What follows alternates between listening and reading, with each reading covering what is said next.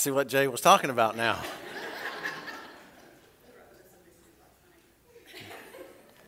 There's something underfoot that's made some people get up and change. Wow, change, that nasty word. Hmm. Well, I hope that you're in the Christmas spirit. I'm not going to do as I would traditionally do um, and make an effort to go from A to Z, from the first book of the Bible, Genesis to Revelation, to tell the Christmas story without getting to the Christmas story. So today I'm going to the Christmas story right from the get go.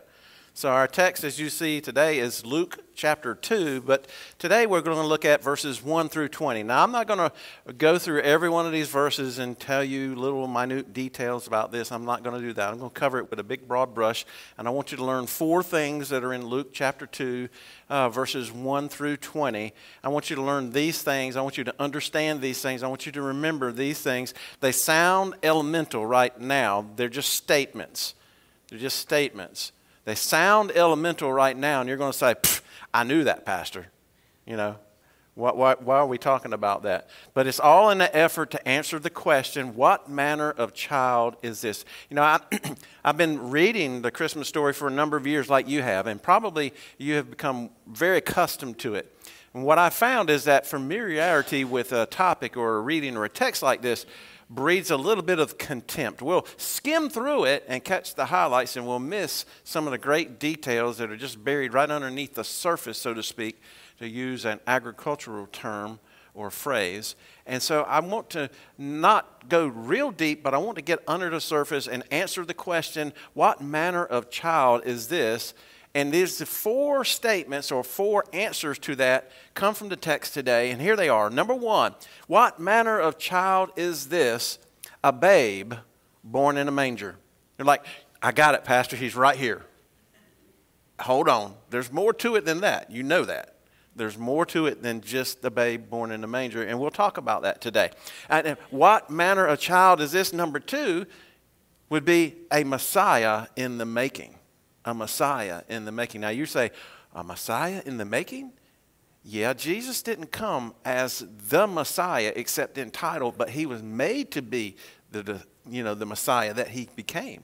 And that's important for you and I to understand because that also applies to us in many ways. Number three, when we answer the question, what manner of child is this?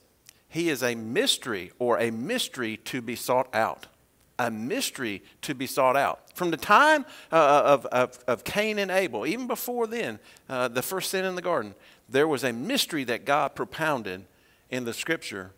And all throughout the Bible, that mystery is unfolded piece by piece, like facets of a diamond being revealed. And even today, Jesus is a mystery to be sought out. And number four, what manner of child is this? Answer a message to be shared.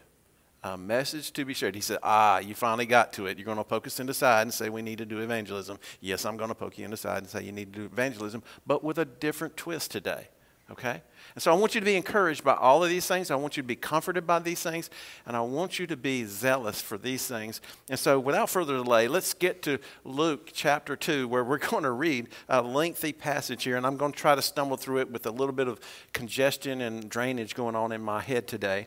And so, with your copy of God's Word, Luke chapter 2 Let's begin with verse 1. It says, Now in those days a decree went out from Caesar Augustus that a census be taken of all the inhabited earth.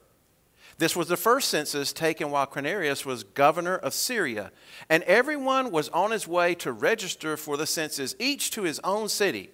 Joseph also went up from Galilee, from the city of Nazareth to Judea, to the city of David, which is called Bethlehem, because he was of the house and the family of David in order to register along with Mary, who was engaged to him and was with child. While they were there, the days were completed for her to give birth, and she gave birth to her firstborn son. And she wrapped him in cloths and laid him in a manger because there was no room for them in the inn. In the same region, there were some shepherds staying out in the fields, keeping watch over their flocks by night.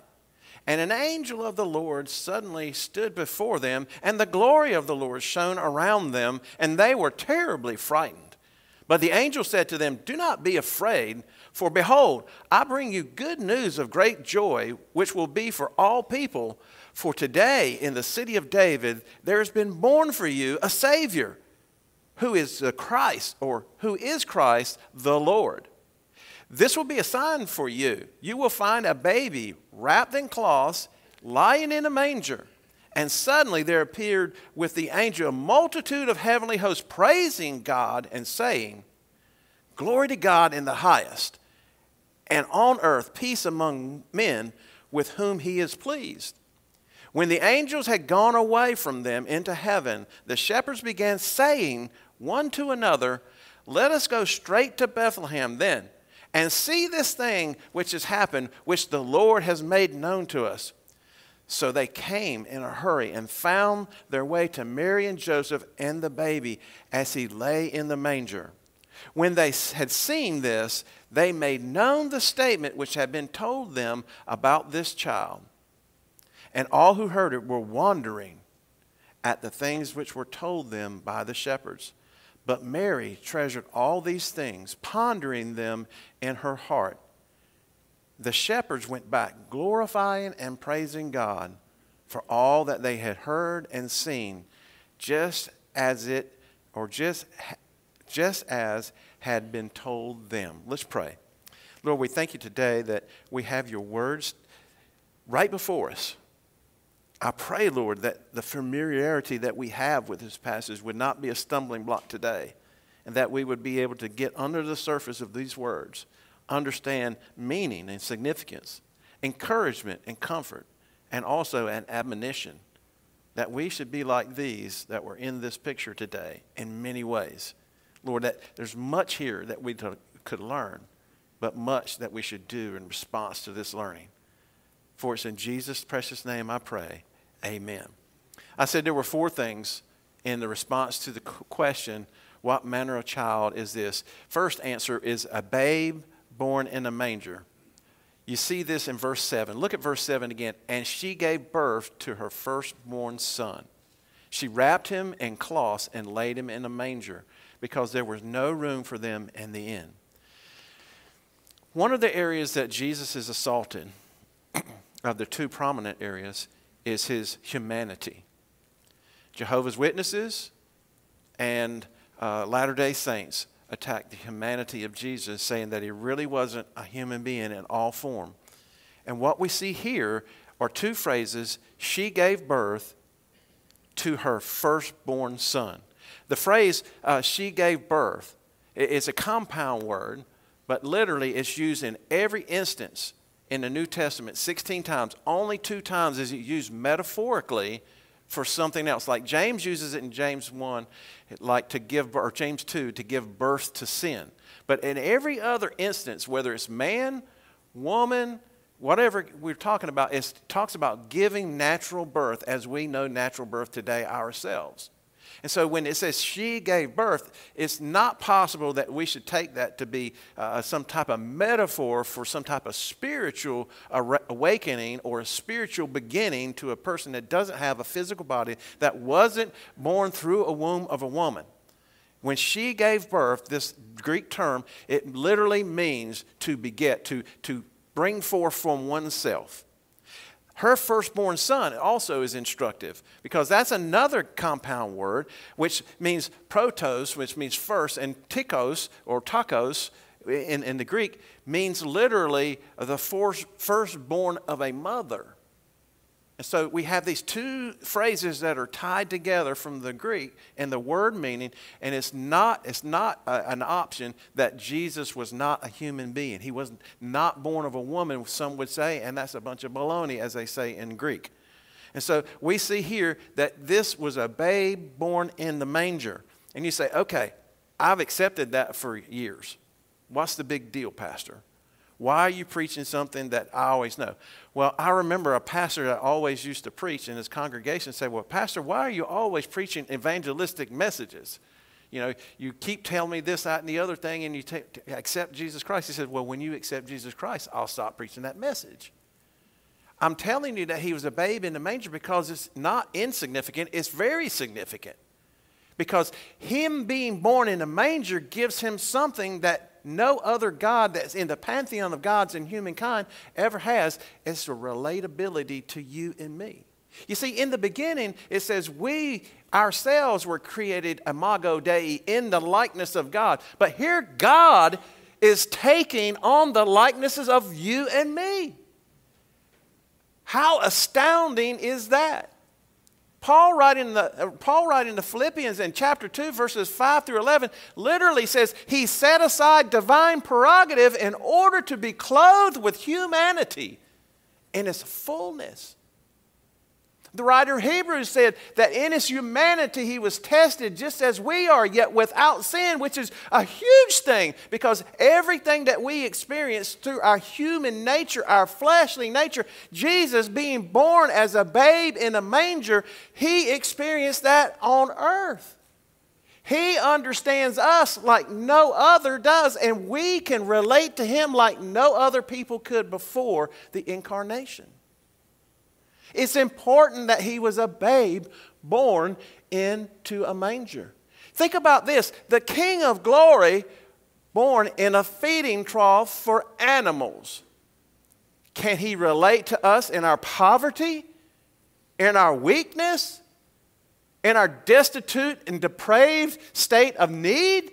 Absolutely. He was completely dependent, just as we are as little infants, on his mother, his father, his family, whoever was around. He was completely and helplessly dependent upon them. We, we sang the song, you know, the are lowing.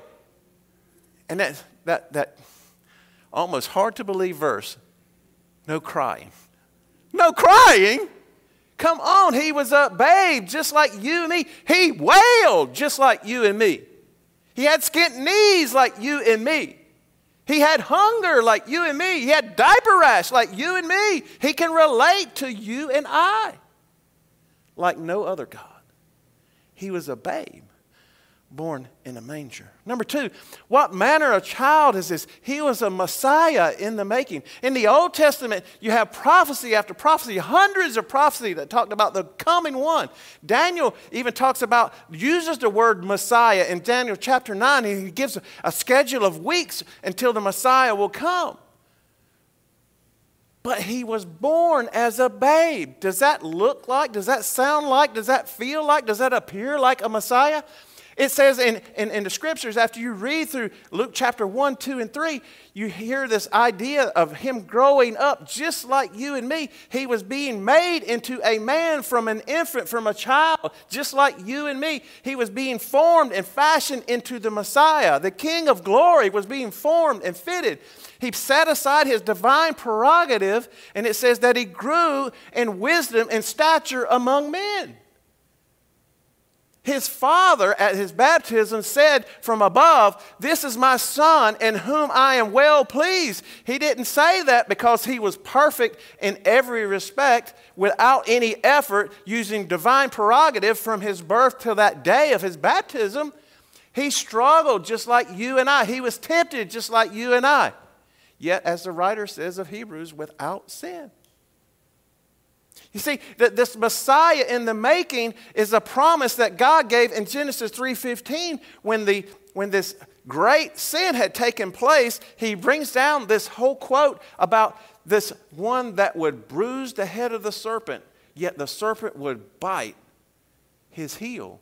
And the word that's used there is zera in the Hebrew, which means seed, means descendant. Right there, the first evangelical message of hope came after sin. It said that through the seed of a woman, there would be one that would come. Literally, you could translate it crush the head of the serpent, the evil one, the symbol of the evil one. And it's not just that there's two elements there. Both of these elements, the serpent and the seed, they, they represent myriads of people, of which you and I are a part of those myriads. He was a Messiah in the making. He began as a babe in the manger. He grew as a child. His father instructed him along the way. His parents raised him along the way. He was a Messiah in the making.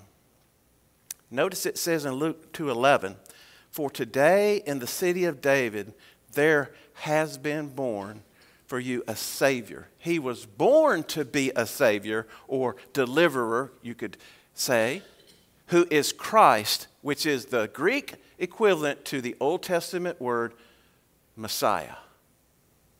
And then it says, the Lord or Master.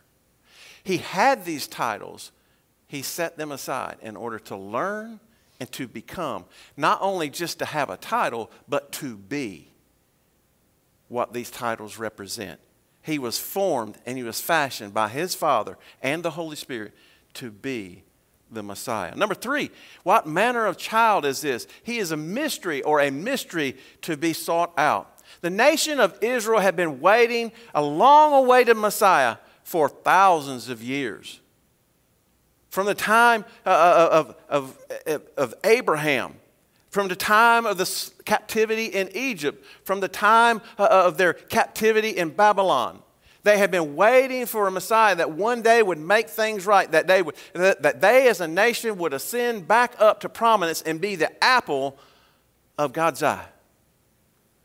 They were waiting so long that they forgot what they really were waiting for. They forgot where the problem started, Genesis chapter 3. They forgot who the enemy was. You see, by the time Jesus arrives in 3 or 4 BC, the way the calendar works out, it's a little funky there. Don't let that disturb you. By the time we get to Jesus' birth, what they were waiting for was a militaristic, political, charismatic leader that would free them from the Roman occupation there in Judea. That was never God's plan. And that's why they didn't recognize him, whether he was a babe or whether he was accused standing before Pilate. They never recognized who he was. Whether he was before the Sanhedrin or the council, or whether he was in the temple preaching and teaching, they could not recognize him because their Messiah looked like a pattern that they had made up in their mind according to their understanding of their greatest need, which was deliverance from uh, being an occupied people by the Romans. What they had forgot was that the greatest enemy was the serpent, which is a symbol of the evil one, Lucifer, the bright morning star, the angel who fell because pride filled his heart. The original liar, the original murderer, the original usurper, the one that took myriads of angels with him in his fall. The one that tempted Eve, think about this, the one that tempted Eve to sin against God by not believing and not obeying, not believing God's goodness and not obeying God's command, the one who tempted and brought sin into the world. So you have the tempter and the sin was God's original thing. Isn't it odd that God took sinful woman and said, through your seed, I'm going to bring one that will be the deliverer, the Messiah? That's our God. That should encourage you. He takes broken people and uses them to do his good will. That should encourage you a lot.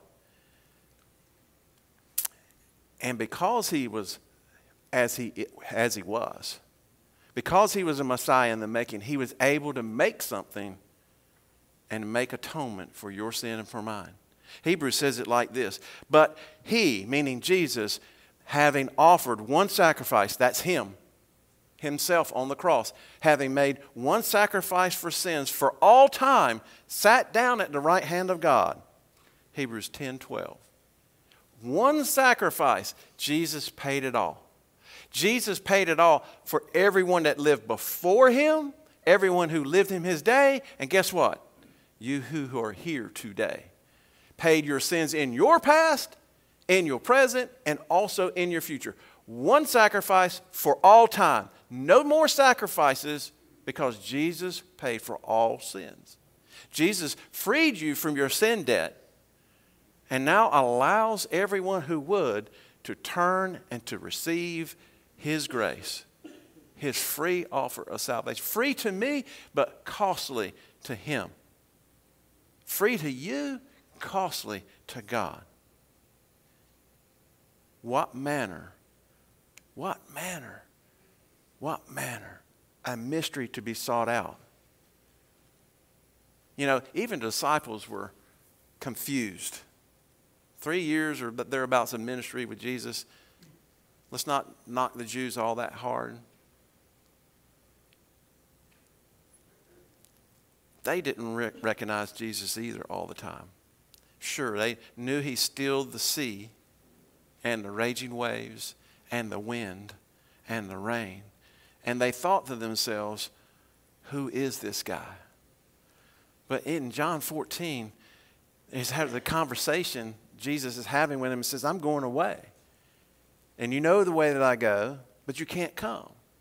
And one of the disciples says, We don't know the way that you go. Who are you talking about? Tell you what, Jesus, just show us the Father and we'll believe everything. And Jesus says this to him He says, Have I been with you so long, and yet you have not come to know me, Philip? He who has seen me has seen the Father. How can you say, Show me the Father? Same thing happens with us today. We get busy in life. We think our Messiah, our deliverer, our provider is something that it's not, someone that it's not. It might be money or finances or counselor, might be a friend, it might be a spouse. Our ultimate provider, our ultimate deliverer is none other than Jesus. We do well t- to watch for that. Are we going to be seekers of the truth? You see, the shepherds had it together. The shepherds were the lowliest caste. If you went and you classified Israel as a caste system, they were on the bottom of the totem pole social, uh, social ladder. You know, they dealt with unclean animals, number one. Nobody wanted to be around them, number two, because of that. They couldn't go to the temple without purification rites, number three. So basically, they were unchurched Jews. Nobody wanted anything to do with them. And who did the message come to first? To the lowly shepherds. How did the shepherds react? Well, let's look. Verse 15. When the angels had gone away from them into heaven, the shepherds began saying to one another, Let us go straight to Bethlehem then and see this thing that has happened, which the Lord has made known to us. Jesus is a mystery to be sought out. Jesus is a mystery to be sought out.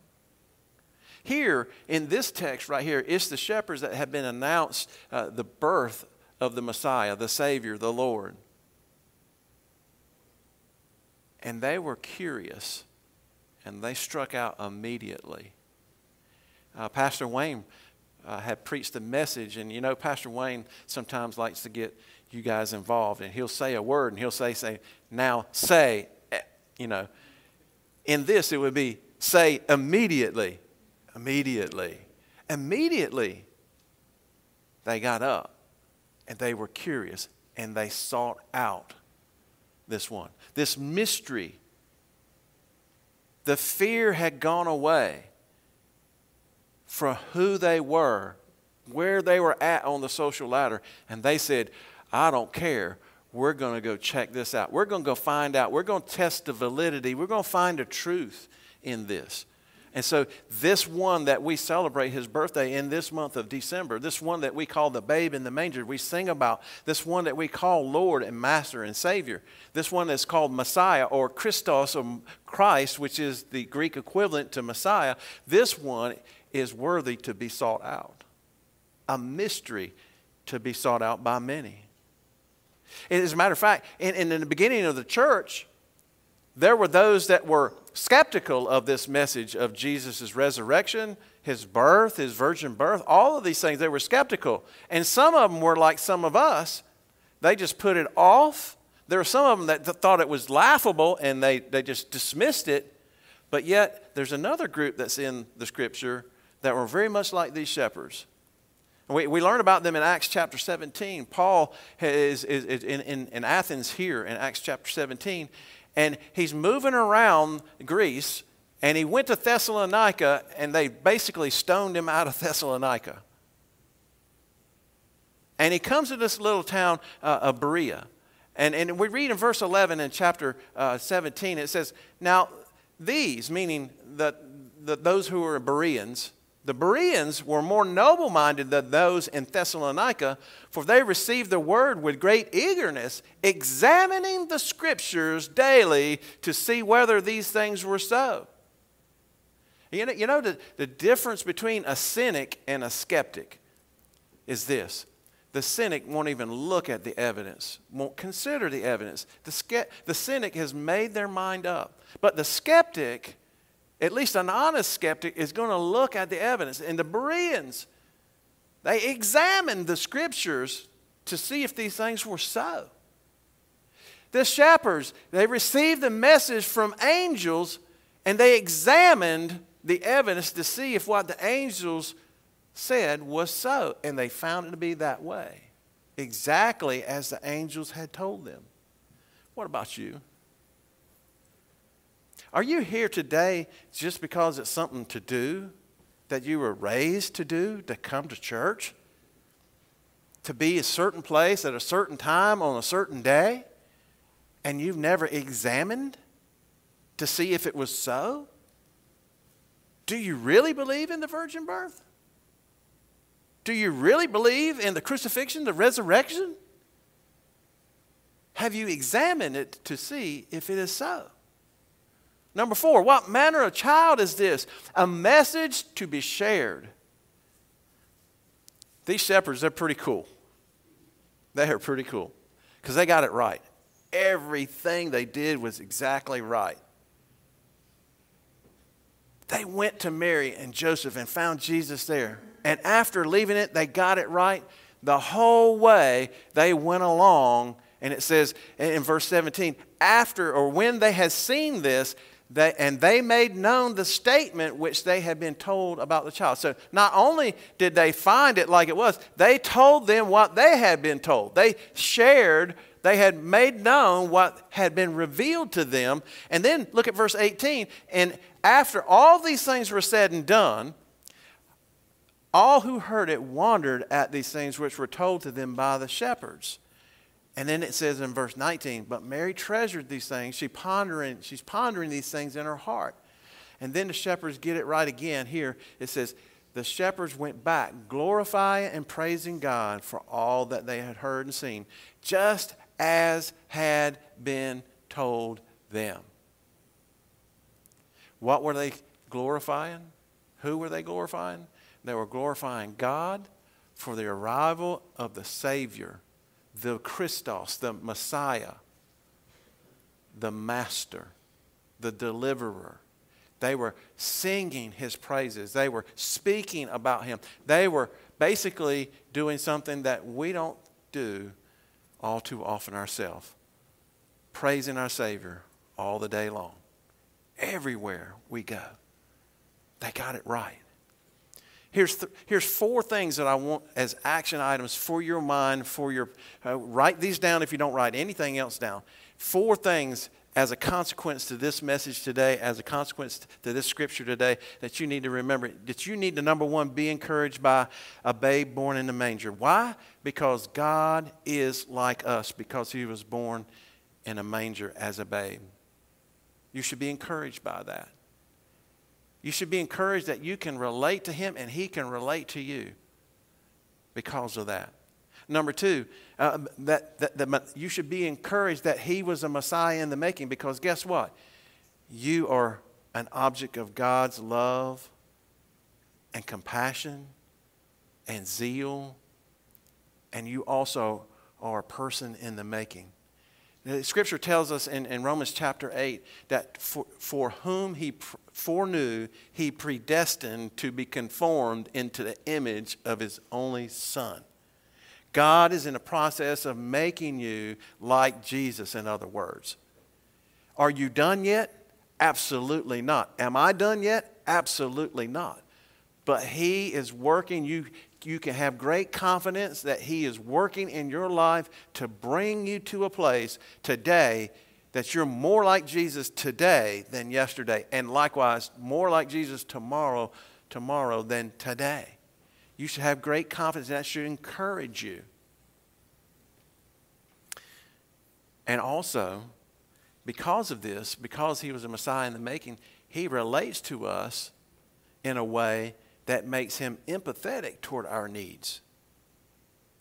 When, when he was speaking in John 10, he said this way He said, I am the door, and if anyone enters through me, he will be saved and will go in and out and find pasture. For, for, in sheep terms, that means to have a good day, to have good nourishment, to have good rest, have protection.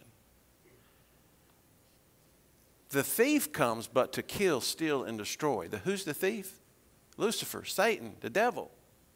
All of his little minion angels, the fallen angels. They, they don't want to come to bring you happiness, joy, and peace and security in the eternal respect. They want you to, to take the placebo that they offer right now, the, the, the sugar water right now, rather than the, the, the dinner and, and the wine and the wedding feast that awaits you as a child of God. The thief comes but to kill, steal, and destroy. I came that they may have life and have it abundantly. That's no kind of life that we, we really know tangibly. What he means is, I came to give you eternal life. And if you are been born again, if you know Jesus and Jesus knows you, you already have this eternal life. You don't know what it feels like, it's not realized in you, but you already have eternal life. There's nothing else to do. There's no sin that you'll ever sin, no word that you'll ever say, no deed that you won't ever do, no deed that you'll refrain from doing that will keep you from the love of God. It is a done deal. The sin's been the sin debt's been paid for. You've been adopted. Remember in, in Galatians we talked about that in, in Galatians 4, that idea, that Greek adoption idea is, is that nothing can take you from being the adopted son, the adopted daughter. Your future is secure and be encouraged. What do we see when we talk about the mystery to be sought out? Be comforted.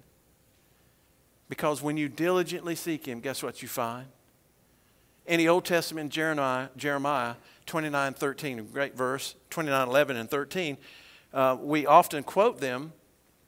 And so let me quote 29 13. You will seek, you will seek me and find me when you search for me with all of your heart. Does that mean you have to work for your salvation? Oh no. Part of the reason Jesus was came to be incarnate was that finding him would be oh so much easier. The reason that we have the word, both the Old Testament and New Testament, is to reveal and explain who the Father is and his will for you and for me. To be found by the great shepherd, to be a sheep of his fold.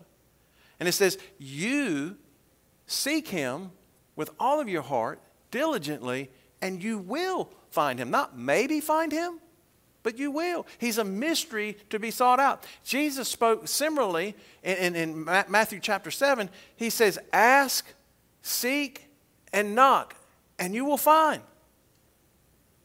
And it will be open to you. The way the Greek is written there, that each one of those verbs, ask, seek, and knock, is keep on asking, keep on seeking, keep on knocking and you will find. It'll be open to you. That idea of openness is in that uh, idea that was expressed earlier. I am the door, Jesus said. I am the door. And if you come in through me, you'll find rest, you'll find pasture, you'll find eternal life. What manner of child is this? A message to be shared. Now, I'm going to shock some people today. No, I'm not going to tell you to close your eyes and go to sleep. I know that's dangerous.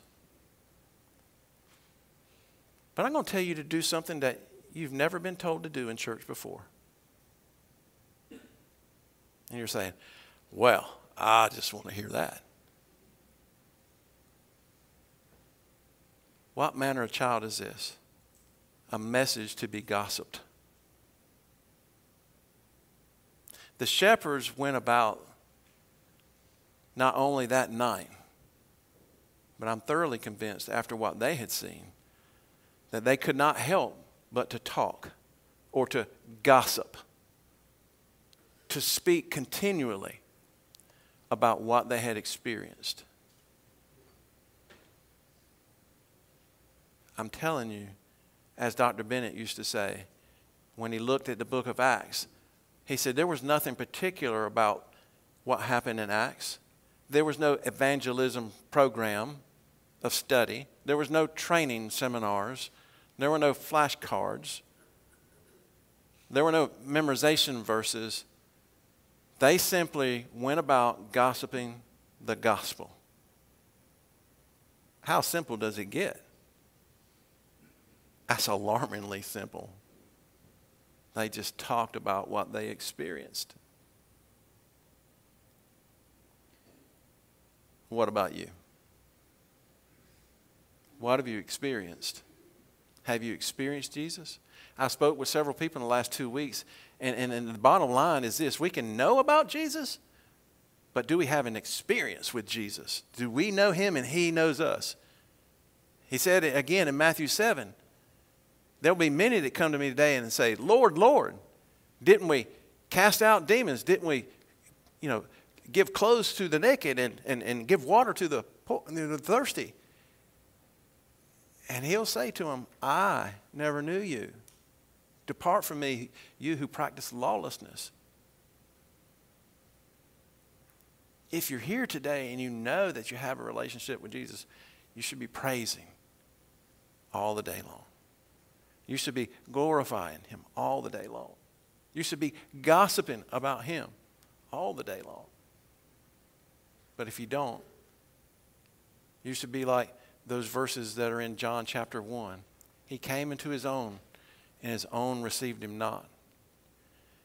And when I say eh, came into His own, remember that John's writing, particularly in a Greek mindset there God didn't want just to save Israel, but his plan was to save humanity all the time long. As a matter of fact, when you look at verse 32 here, it says that Jesus was really a light of revelation to the Gentiles. To be shown to them, to illumine them, to help them understand that God's grace is now available to them. And guess what? You're a Gentile. I'm a Gentile. And if you don't know Jesus today, please, please, please, don't go home without calling, writing, asking someone, me, a friend, whatever, what it means to have a relationship with Jesus today.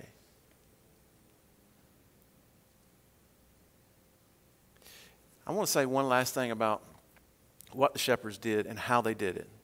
They went about gossiping, but the manner of their gossip was that they were praising and giving glory to God. Perhaps one of the greatest ways that, that we can evangelize the world around us today is not door to door evangelism, though that's not bad and it will work on when the Lord wants it to work. But one of the easiest ways to do that is to praise and to glorify God. To sing his praises, extol his greatnesses, to have it on our faces, to have it in our words, when we interact with other people that would prompt them to ask us for the reason of the hope that's within us. You don't need no class to do that. I don't need a class to do that. It's simple. So, today, what manner of child is this? To you, who is Jesus? Is he something you've just read about, or is he a person that you experience on a day to day basis? That's the question for the invitation today. I've given you four points and four action items, great encouragement and comfort to you. But the bottom line is this do you know Jesus? If not, today could be the day of salvation. As our musicians, as our pianists come to sing the invitation hymn today, have you heard the message? That man is sinful. Paul said that no man seeks after God, no, not one. If you have an inclination toward God, it's only because He, as John 6 44 says, no man comes to God except He draw him. That's because He's making an effort to come to you. The shepherd is making an effort to come to you. What's going to be your response today? I'll be down front to receive you. You come as the Lord leads. Can we all stand for our invitation today?